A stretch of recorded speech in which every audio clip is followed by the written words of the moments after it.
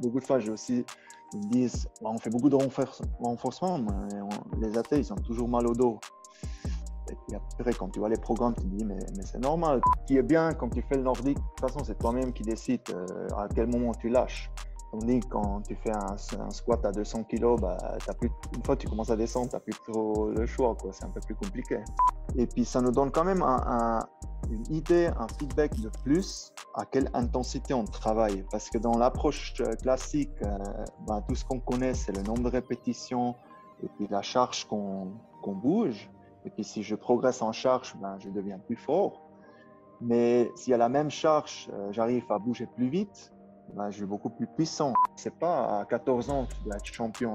Tu veux devenir champion olympique, c'est à 24 ans. Donc c'est encore 10 ans de travail. Il faut, faut, pas rêver non plus. Génétiquement, il a tellement de potentiel, mais comment lui faire expliquer maintenant que euh, ouais, tu peux pas t'entraîner en sprint, tu peux pas faire les compétitions parce que tu, tu, vas que te blesser.